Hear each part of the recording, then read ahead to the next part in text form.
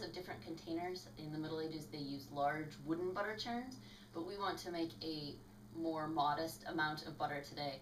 This is a medieval appropriate stoneware crock that you could make butter in. However, today we are going to make butter in a butter churn that you can make for less than $5. So this is our $5 butter churn. When we teach butter classes at events, we generally charge $5, which covers not only this butter churn, but also our handout and the cream. So this is made of your standard wide mouth mason jar, which we purchased at our local store with the ring. And then we took a piece of thin plastic and cut a hole in the middle and cut it to fit inside of the screw-on ring. The other part of this is the dasher. And the dasher, we requested our local woodworking boys to make, but you can easily make one of these in your garage. It is a section of dowel, uh, about a foot and a half long, and then a piece of pine in which several holes have been drilled. These could also be cross-shaped or a variety of other shapes. So we assemble this by putting the dasher in, and then we are going to pour in cream and this is heavy whipping cream from the grocery store. It is not a special kind of cream. It is not a specific type of cream for butter making. It's just the whipping cream that you would buy to do any other cooking project. So this is obviously something that in the Middle Ages you would need to do if you had dairy animals because milk by itself does not last very long. And if you want to preserve it, you need to do something like make it into cheese or butter. Butter making is fairly fast and easy, and all you need to do is put your butter into your container then move the dasher up and down. However, if you move your dasher up and down in a sort of a slow fashion, this will take all night. What you need to do is use vigor when making butter. So in general, and this uh, particular uh, dasher squeaks slightly, so I will not talk while I'm making the butter. You need to make your butter about like this. Immediately becomes obvious why you need a lid, because if you do not have a nice tight fitting lid, you will have cream everywhere. And even with this fit, tight fitting lid, you are still going to get messy, so don't do this in your very best clothing.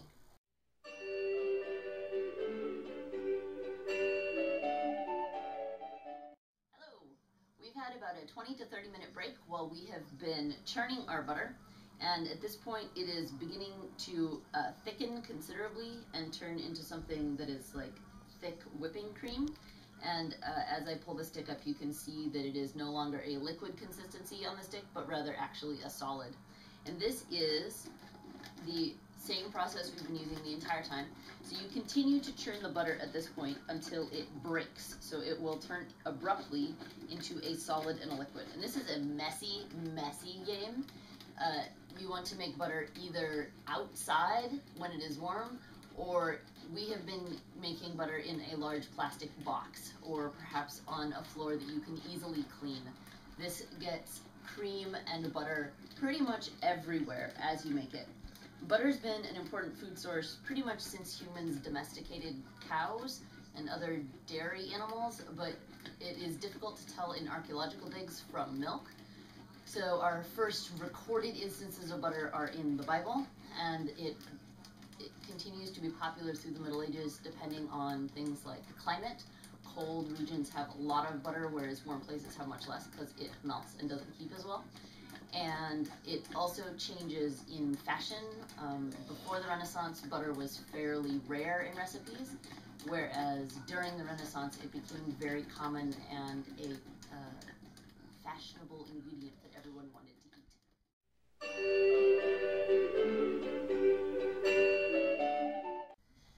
It's been 10 minutes since our uh, last check-in with the camera, and what we now have is butter and buttermilk, which have separated from one another. So we're going to take off our lid and deal with what is in our jar.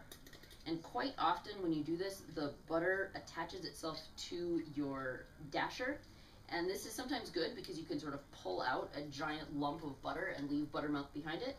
Sometimes it doesn't do that. When you open it up, you can kind of push the butter down into the bottom of the jar with the dasher and make it all stick together so that you can pour out the buttermilk easier.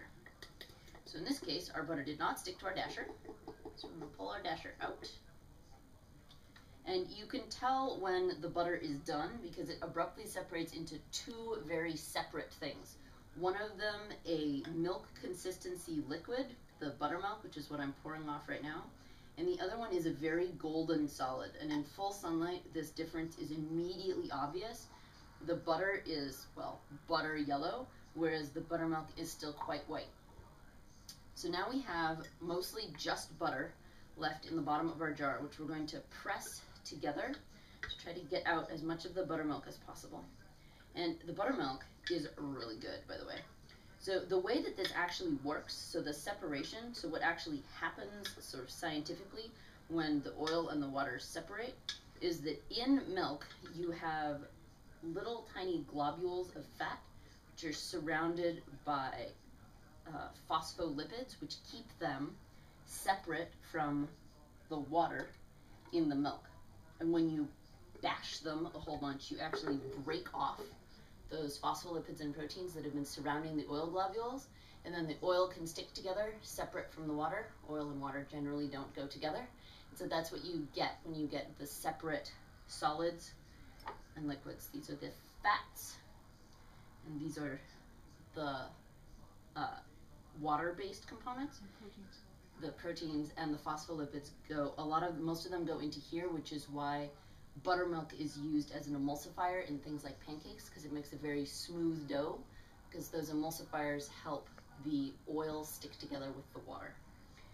So we are going to go on to washing momentarily. First we want to talk about why this buttermilk is not like the buttermilk you buy in the store. So this buttermilk is from what's called sweet cream butter, which generally in the United States, if you buy butter, it's labeled sweet cream butter. And that means that it has been churned from cream sort of straight from the cow. It has not been cultured in any way. Uh, culturing, the most obvious culture is yogurt um, or cheese or buttermilk. So the standard, if you go to the grocery store and buy buttermilk, that is actually skim milk that has had a, a variety of good bacteria and yeasts grown in it.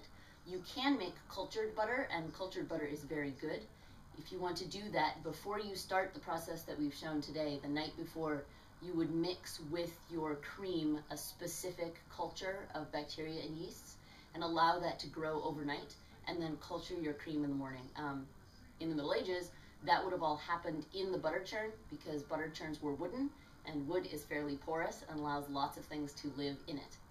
This sweet cream buttermilk is totally delicious and tastes nothing like the buttermilk that you get in the store. If you get this, this is your reward for all of your hard work in butter making. You should drink it.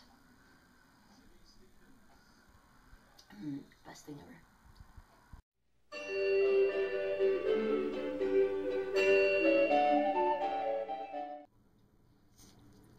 So now we're going to wash the butter and the most important part of washing is to have very, very cold water because if you have not very, very cold water, then your butter will melt. And that is very sad. So First step in washing is to squish all of your butter together in a pile in some kind of slanty dish. And a lot of the buttermilk can just be pressed out at this point. And you want a slanty dish so that the liquid will run out and you can dump it out without dumping out your butter. So the why would we want to wash our butter and why is it important to wash our butter? So the reason that we take a lot of time washing butter is because the milk solids that are in the way so the part that, or in the buttermilk, the part that we're dumping out, have um, all the have a lot of proteins in them, and those will cause our butter to go bad much faster than if we rinse it out. I at one point made uh, some butter and was storing it on the counter and had not washed it correctly, and it ended up smelling like blue cheese, which is a problem. So we want to dump any buttermilk into our into a container because as we stated before, buttermilk is yummy. And then eventually we will start pouring cold water over our milk and then pressing that out again. So we're going to add cold water, squash it around with the butter, and you have to keep washing it. So keep adding cold water and squishing the butter around in the cold water until the water runs clear. And that's when you know that you've gotten out most of the milk solids into the buttermilk and your butter will then last for a lot longer. The other way you make butter last for a long time is salting, but you can't salt until after you have finished washing. Because as most of us know, salt is water soluble. And we're hoping to take away anything that is water soluble at this point. So we're going to continue washing until all the water soluble things are out. If we had added salt, say when we were churning, or before we were finished washing, then we would also wash out the salt at that point.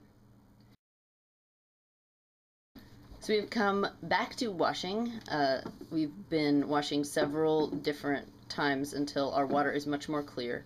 And our next step is going to be salting. So we need to both wash and salt to inhibit bacterial growth. If you don't wash it and don't salt it, then the bacteria think that the milk proteins that are left in the butter are extra good and your unsalted butter will go bad much faster than salted butter. It will actually go rancid. So the salted butter, on the other hand, can be kept for a very long time. Uh, Scandinavians could pay their taxes in butter, and the documents from the Middle Ages talk about rich men having a mountain of gold, and they don't mean gold the metal, they mean gold the butter, underneath their house. It's generally, of course, best kept someplace cold, as if you try to keep it someplace warm, it will melt. So here we are going to add some salt. You want to add a fair amount of salt. If you're going to eat it soon, you don't have to add a ton of salt, but the more salt you add, the longer you'll be able to keep it. Uh, there have been discoveries of buckets and barrels of butter that were heavily salted and then buried in a bog. And the butter is actually still good hundreds of years later. The other point we wanted to make is that this fairly modest amount of butter came from one very tiny container of cream, only a half pint of cream. So one half pint of cream gives this much butter and our sort of half glass of buttermilk that we drank earlier. So this is a fairly, it has a fairly high yield as far as milk preservation techniques. And if you properly wash and salt your butter, it will be available for your use for many years. If you too heavily salt it, though, you will have to rewash it before you can eat it because too heavily salted butter is not particularly yummy.